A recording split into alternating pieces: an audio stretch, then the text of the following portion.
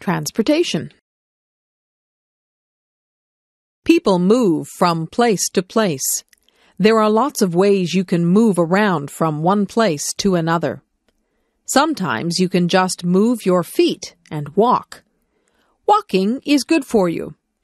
Some places are too far to walk to. You might have to ride a bicycle or ride on a skateboard. Some places are too far away to ride your bicycle to. You might have to drive in a car or a van or even a truck. My father has a car. My uncle has a van.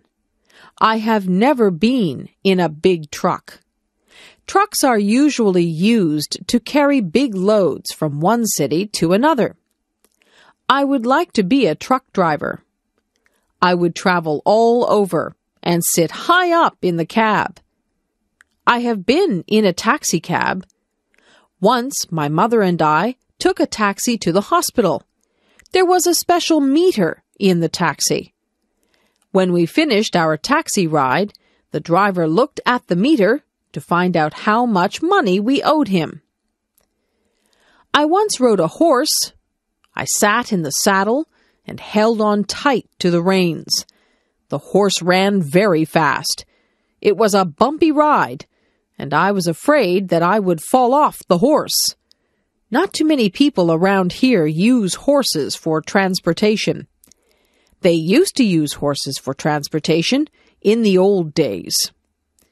If you want to travel very far away, you have to go on a train, a plane, or a boat. If you are in a hurry, it is best to take a plane. Planes fly through the air very fast. Trains go along the tracks. Sometimes I can hear the train whistle from my house.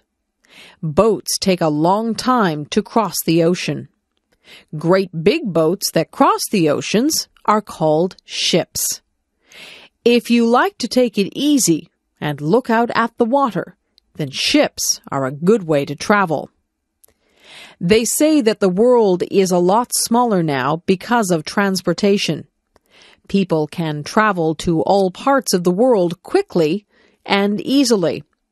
The world is not really smaller, but it has become easy to get to faraway places.